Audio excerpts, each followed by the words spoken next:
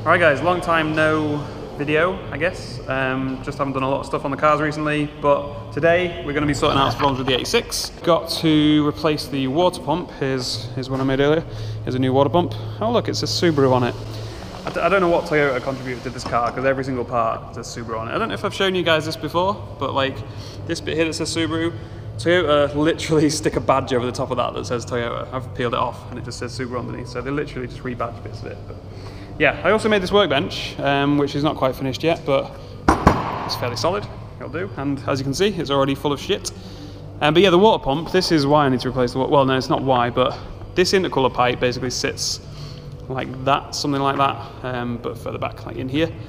Um, and the problem is, the back of it, as you can see, has had a few run-ins with the water pump pulley, um, which has kind of mashed the heads on the bolts, which made it a nightmare to get off. I'll show you underneath in a second, but basically I had to weld some new bolts to the old bolts because the heads were so fucked that you couldn't turn them or anything. They're like domed heads, so you couldn't get mole grips on them or anything. So I welded some new bolts to those old bolts so I could then turn them. Um, so that's got them loose now. Got the, um, the belt and everything off. So next job is literally just to drain all the coolant out, um, pull the water pump off. Um, I should explain, the water pump was leaking, that's why I'm doing this. Um, like this little little hole there, little weep hole that um, it was leaking out of quite a bit. And it has been basically since the last crash um, at Rockingham ages ago.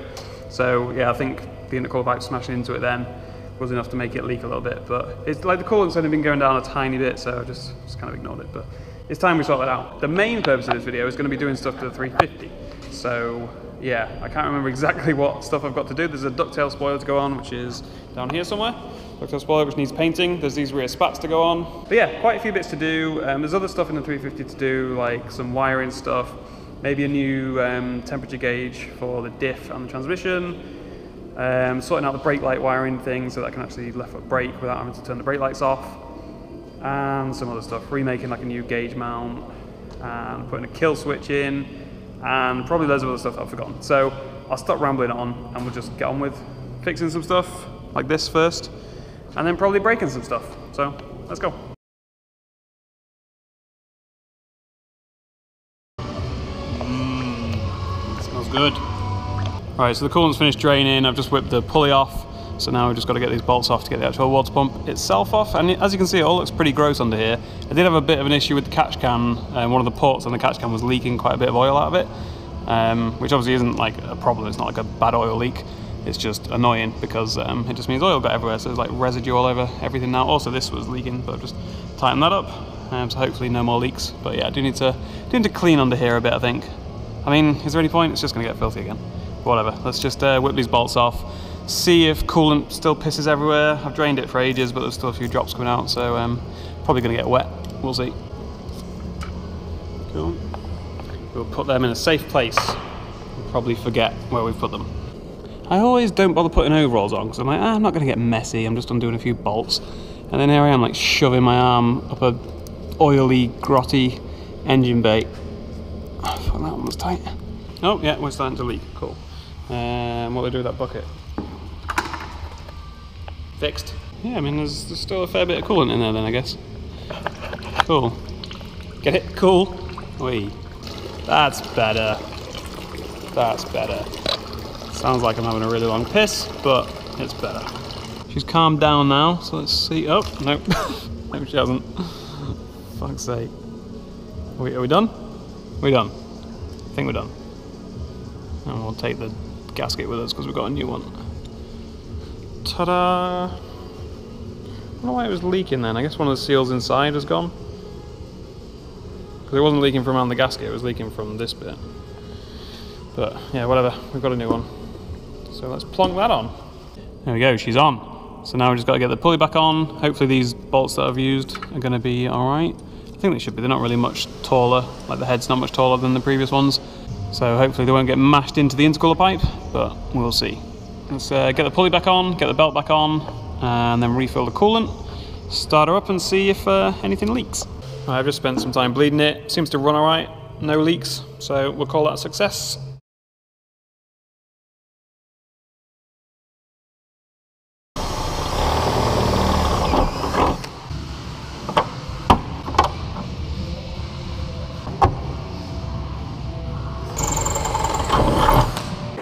So I didn't really film much of that because it was just a case of drilling a load of holes and putting a load of pop rivets in. Same thing over and over again. Um, and yeah, they're all in now. Looks pretty good, I think. Um, the fitment's not too bad considering it's an aftermarket one. Uh, I didn't have to file anything down.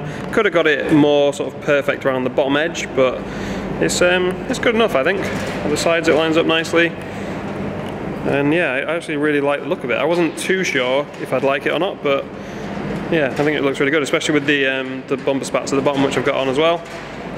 Definitely like, makes the whole car look like a bit more aggressive. Like it doesn't just look like a, a normal road car now. Like it looks a bit more, a bit more drift car spec, I think. Oh, and before I forget, the reason that there's no rivets in the very end bits is because those bits were actually quite far away from like the, the actual boot underneath. Um, the rest of them were like sunken in fairly well and they're, they're pretty close, but there's actually quite a gap between the surface of that and the surface of the boot underneath. So I didn't want to use a pop rivet and like have to bridge a massive gap because it probably just crushed the fiberglass. Um, and like break it. So, I mean, I might get away with it, but I'd rather not risk it. Like now, it's all pretty much on. I'd rather just leave it like that. I don't think it looks too bad. It's not that noticeable that there's some missing really. Although it is now. I've pointed it out, but yeah, I don't think most people will notice really or think it looks too shit. But whatever, it's just a drift car in it. It doesn't have to look perfect. And also you'll notice it's filthy now because I've actually done a couple of drift days in between filming the bits of me drilling it and filming this. So um, yeah, it's fucking horrendous now and needs a wash. But yeah, that's pretty much done. So we'll move on to the next job. Alright, so another job we've got to do on the 350 is get rid of some rusty patches on the uh, chassis rails down here. Now, I don't know how well it comes across on camera, but that is pretty fucked. Like, I mean, if you put a screwdriver in it, it just crumbles. So, um, yeah, it's pretty, pretty bad if you can just touch it and it falls apart. So we're gonna cut out this sort of section here um, and just weld some new two mil thick steel in there. Probably gonna have to take this exhaust off. Um, so yeah, let's let's give that a go.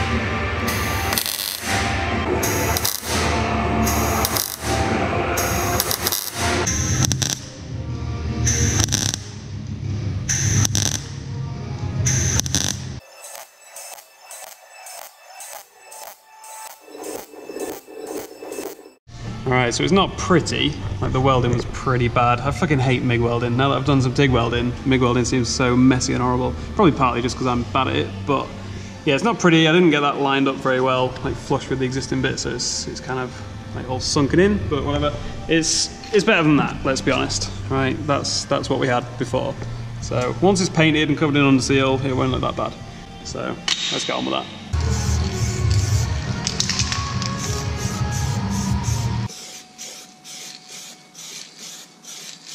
Alright, so now that it's painted, it's looking a little bit better. Still kind of stands out as being a bit out of place, but I'll stick some under seal on and it should sort of blend in a bit better. I've just done this side, put some under seal on. Um, and I mean, it looks out of place at the moment because it's all new and shiny where the rest of it's covered in shit. But once it gets a bit of road dirt on there, it'll blend in fairly well. So yeah, hopefully that'll be a lot better than rusty patches. Um, it's not the best job ever. Obviously, I don't normally do stuff like this, so it's never going to be that great. But like I say, it should be better than what was there before. So on to the next job, which is going to be trying to mount a fan to this oil cooler up here. So probably some more welding required, I think. I mean, you, you probably could just do it with like, I think most people sort of, it's like cable ties almost that go through the fan and through the cooler and like tie it together. But I want to just make a little bracket that holds it on there, be a bit nicer. And it gives me something to do to practice some TIG welding. All right, so the first thing we're going to need is a fan. And luckily, I happen to have one. So this should actually fit pretty nicely on there. If I can do this with one hand. And if you can see it all, I'm trying not to drop it on my face. But yeah, like that. Sits pretty well in there. Covers, I mean, it's never going to cover the entire oil cooler because it's like way longer than it is taller. It's like a widescreen oil cooler. It's like 1080p. So, um, fucking terrible joke. Um, so yeah, it's never going to fit perfectly, but it covers the height of it pretty well. So um, there, that should be all right. And I actually bought this about a year and a half ago or something for the GT86, um, but it wouldn't fit on the GT86 oil cooler because of the way that that's mounted and everything. Um, so it's actually kind of good that it's finally come in handy. Right, so I've taken the front bumper off just so we can get a better look at what we're doing here. Um, originally, I was going to try and just weld the bracket in place while it was all on the car, but it's a pretty bad idea, really, isn't it? So let's not be lazy. Let's take it off. I mean, especially when there's plastic behind here, so it's just going to melt as soon as we start welding on that. Right, so I've taken the bracket off and the oil cooler, obviously, um, and this is what we've got to work with. Drawn a few lines on it just to kind of give me a rough guide of where's safe to put stuff and where's going to get in the way of other things. So, we've got to do a few measurements. This place is an absolute fucking shithole, but ignore that.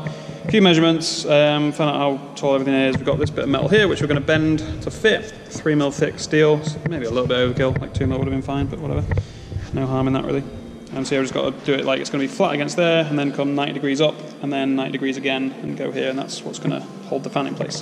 The options are we either go for some scrap 2 mil stuff that I've got over here that would be a bit more flexible and a bit easier to bend but we've got to piss about cutting it to the right shape and everything. Or we just cut this here and then just weld the vertical bit um, to it so just weld like an inside corner joint there and just going straight up which I think that's probably going to be the easier option. Alright so I'm pretty new to TIG welding um, I mean, I'm pretty new to welding in general, and any of this stuff. TIG welding, even more so. So you have to forgive if this turns out pretty shit, which it probably will. But um, we'll give it a go.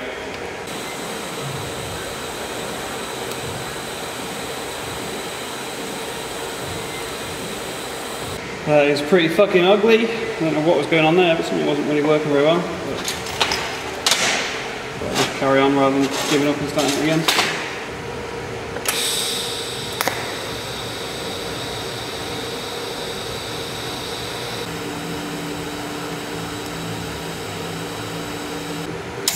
Fucked up the end bit, but it was alright. It's uh, it's pretty well stuck on there now at least, like it's not going anywhere. Got a few sketchy welds around the side, that weld along the bottom. Yeah, you can't really see very well. It's all pretty horrible, ugly welding, but it'll hold it on there. Fucking not bad.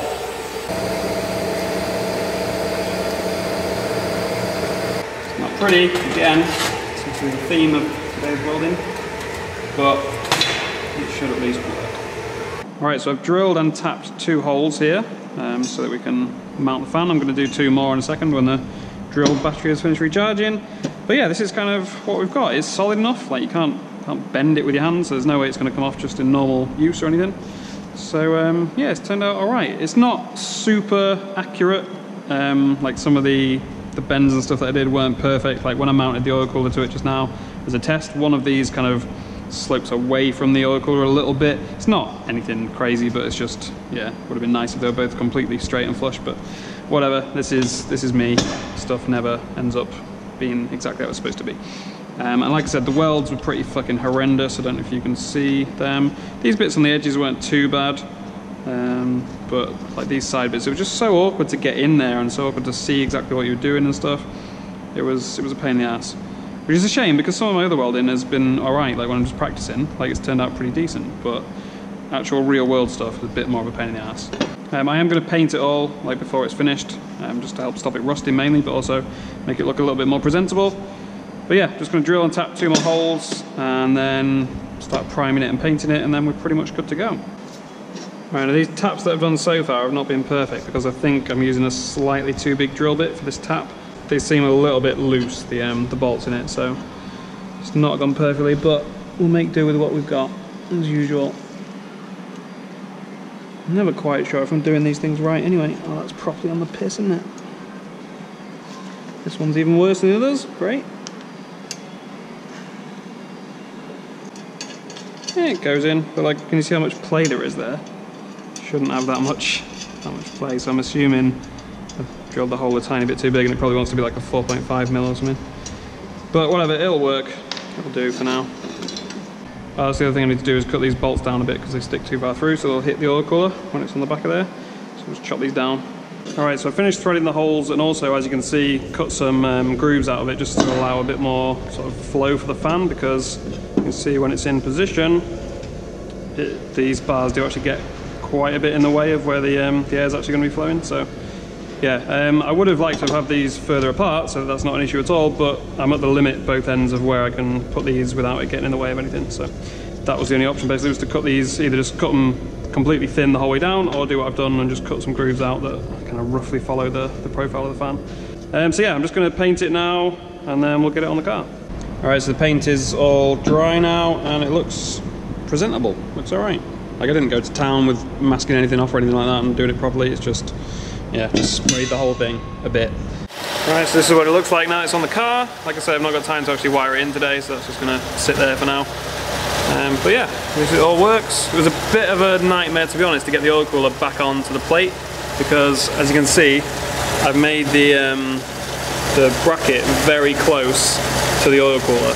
And at the bottom, it's actually a little bit too close. I didn't appreciate the fact that the oil cooler overhangs the bracket, the original bracket, slightly. So um, yeah, I had to bodge it a bit to get it on, but it is on. Um, you see it's not completely flush. Oh, I need to tighten that bottle up. That'll be one reason why. But yeah, I'm just checking, to make sure there's no leaks or anything, because these um, connectors sometimes are a bit of a pain for leaking if you don't do them up super, super tight. So just making sure everything's good. And then we need to top the oil up as well, because um, it dripped a lot of oil out when I took this thing off. So yeah, we'll just um, run it for a bit. This is getting nice and hot now, so it is circulating through here. And yeah, then I'll run it to, um, run the cable, sorry, to a switch inside. We can turn it on off whenever we want. Alright, so we're getting on with wiring the oil cooler fan in. Um, I've just stuck two connectors on here. Also, bit of a fail. I, um, I put some what I thought was heat shrink tubing on here, and then went to heat it up, and turns out it's not heat shrink, it's just normal PVC tubing, so it's just gone a bit manky and horrible. But yeah, stuck two connectors on here, and then I've got a load of cable that we're going to route, I think probably around there, and then up through this little gap here. Um, and then Obviously one bit's just going to go to an earth and then one bit is going to go through there. Well, it already goes through. There's a grommet in there that you probably can't see because it's behind the ABS block that goes into the cabin and that'll go to a switch on the dash. Um, but first of all, we're going to put a proper connector on it, one of these little things, so that if I ever want to take the oil cooler or the fan off, I can just disconnect it here, just unplug that like a normal sort of OEM style connector. Because otherwise I'd have to like cut wires or just pull it and hope that the wires are long enough to put it somewhere. So we'll do it properly, do it properly the first time for once. So yeah, let's crack on with that.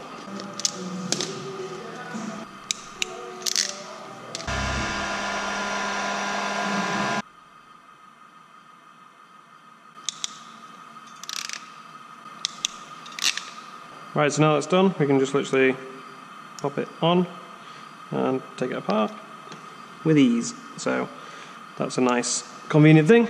And we're just going to test it now, now that all that's wired in. All right, moment of truth. Wow, that's loud. I mean, it's working. Fucking hell, that's loud.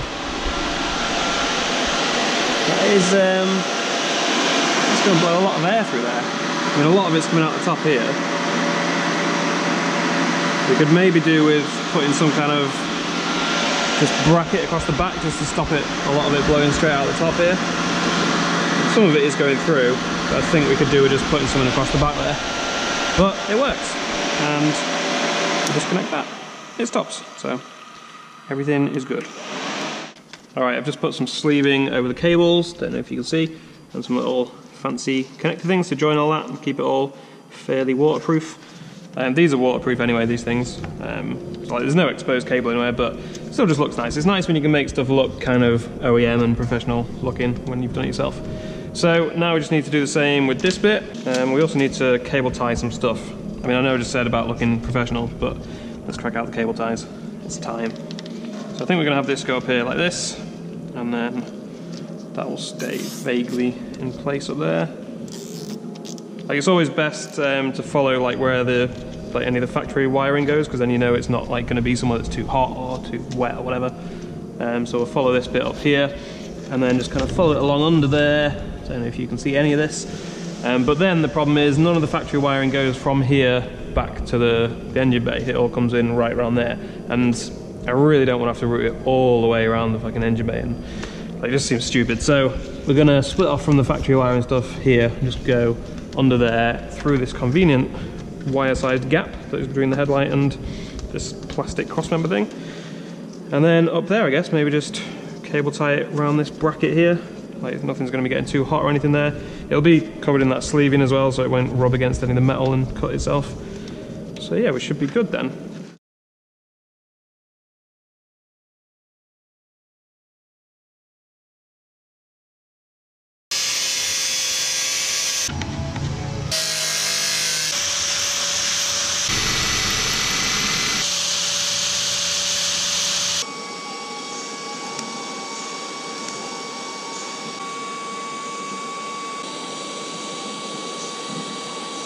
Right, so this is all welded together now. Um, pretty ugly welds as usual, but whatever, it'll work. So let's go make sure it fits. All right, so it's in, it fits about as well as you could expect for me doing something anyway. The, um, the gap at the bottom there is because this whole panel kind of curves out a bit, this whole bit. Um, and I couldn't be bothered to try and take that into account. Like it's bad enough for me just measuring and cutting stuff right on a flat surface, let alone with a curve. So yeah, um, I've just ground these bits back just to cover up the sort of weld marks on the inside from putting the, the legs on. But yeah, you probably can't really see how it attaches, but I'm sure you get the idea from seeing the legs on the back. So basically I just need to cut some holes like I did in the old one um, to put switches and stuff in and obviously sort out the switch for the oil cooler fan. That was kind of the reason why we are doing all this in the first place. So um, yeah, we'll cut, I'm going to cut two holes for two circular gauges I've measured it and they should just fit between the legs on the back, so like one there, one there. Um, and then we'll have the switches across the bottom. I'm not super happy with how it turned out because the spray paint bottle started just spitting like big lumps of paint out towards the end. So like the final coat of paint I gave it has ended up with all these little dots all over it, which is a bit annoying, but I can't be asked to like sand it off and paint it all again now. I might do at some point, I'll see how it looks once it's actually in the car and out in the daylight, but for now it'll do. It's still a lot better than the old one was. Um, I've not actually got the sensors in yet for the diff and the transmission. Um, I don't know if I'm going to bother doing the transmission one, but I do want a temperature sensor in the diff just to see how hot that oil is getting. Um, it's not necessary or anything, like most people don't bother, but I kind of just fancy it out of curiosity really, just to see if it's like destroying the oil that's in there and like how often I need to change it really. I mean, it'd be good to just change it after every event, but I can never be bothered. It gets pretty expensive. So yeah, um, that's kind of just in, but not going to work yet. The oil pressure and oil temperature one obviously will work because we've been using that before. And now we're to have two switches down here for the, I'm trying to remember what one of them was for. Oh yeah, for the left foot braking thing and for the oil cooler fan. So let's just double check that the oil cooler fan works now that everything's wired in in like its final positions. It's to be that way up, so we switch it up. Yep, definitely works. You can actually see the lights on the dash get dimmer when you switch it on. So I think that's drawing a fair bit of power. You see everything just suddenly flash on and off. Yeah, so I think that's definitely something that we need to remember to turn off when um, the engine's not running, because that could drain the battery pretty quick. Although it says it only draws like 9 amps or something, but then there's quite a bit more than anything else I've ever wired into a car. Normally the stuff I'm doing is like 1 or 2 amps or something, just for like a LED or something. So yeah, um, we'll get this all mounted properly and then see how it looks. Right, it's in, but I don't know if you can tell, I uh, made a bit of a stupid mistake and didn't let the paint dry for quite long enough. Like, so it's still a little bit tacky, and as I've like pushed it in around the edges here, it's kind of just wiped a little bit of the top layer of the paint off as we've tightened stuff up as well. So uh, yeah, not ideal. Uh, like I said, it kind of needed redoing anyway, just because of all like the clumps of paint that got spat out on that final coat. So I definitely will take it off and sand it and paint it again. But for now, at least for the sake of this video, it's done. Uh, it's in, everything works. I mean, not at the moment because the car's not turned on, but it works. And uh, yeah, we'll call that success. Move on to the next thing. All right, actually, I think that'll do. Like, I was going to carry on doing some other bits and bobs, but I think this video has already been long enough, so we'll, we'll leave it there. Um, there is other stuff to be done, which I'll do in the new year, but this has taken like three or four weeks to get all these jobs done, so yeah, it's meant the video's taken ages to come out as well, so sorry about that. But hopefully you appreciate kind of like quality over quantity. Like I didn't want to just pump out one video on each of these like tiny little jobs. It would have just been a bit stupid. So yeah, I've tried to cram them all in one video, but it has meant it's kind of gone the opposite end of the spectrum now, where it's just a lot of stuff all in one video and it's taken forever to actually do. So don't know. I, I need to find like a happy medium, I guess, between the two. But that'll do for this one. Um, there will be a drift day coming up very soon in the 350 with Luke and his 350 as well. Um, at Rockingham, they're doing one just after Christmas, so be going to that. It's on the 27th. But at least some of these jobs will help for that drift day as well. Like I won't have to take the fuse out every time I want a left foot brake and the oil temps should be a bit lower with that fan and everything like that. So should be good. But yeah, that'll be the next video, Rockingham Drift Day. So see you there.